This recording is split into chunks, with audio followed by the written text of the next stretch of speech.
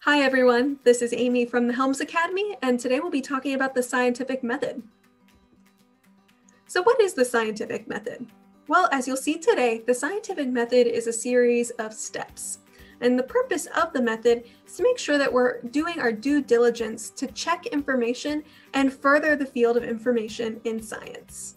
So the scientific method is not limited to just professional scientists, but to anyone who would like to observe, form a hypothesis, predict a, an outcome, conduct an experiment, analyze their data, and then share their results with the world. Today, we'll be going over what these six steps mean so that you have a better idea of how you might apply knowledge about them when taking the HiSET, GED, or TASC test. So the first step is to observe. Let's use the example today of a plant. So perhaps I have a plant that sits by a window. And if I observe that plant, I may notice that it's growing a lot as it sits next to that window. So out of that, I'll form a hypothesis, which is like an educated guess. So I'm forming the hypothesis that the light will affect the growth of the plant, and not having light may negatively affect the growth of a plant. Now, out of that hypothesis, I'm going to get the idea to maybe play around with that and do an experiment. So, with that, I can predict what I think the outcome would be in different circumstances. If I leave a plant in the light by a window, it may help it to grow because of the light. And if I were to put the plant in a dark closet, it may not thrive in the same way because it does not have the light.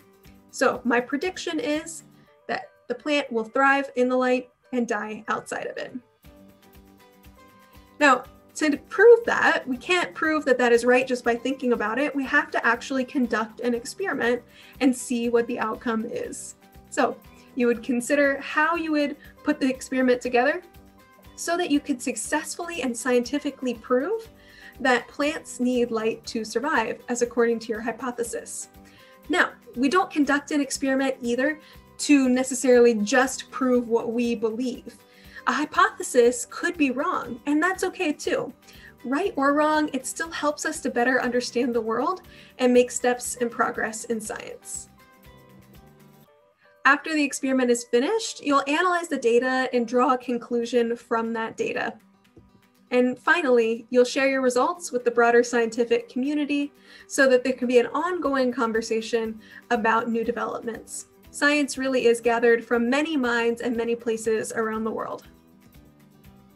So here are all the steps in order and as you would take them. You observe, form a hypothesis, predict, conduct an experiment, analyze the data and draw a conclusion, and ultimately share your results. On the test, you might see keywords like hypothesis, prediction, and conclusion.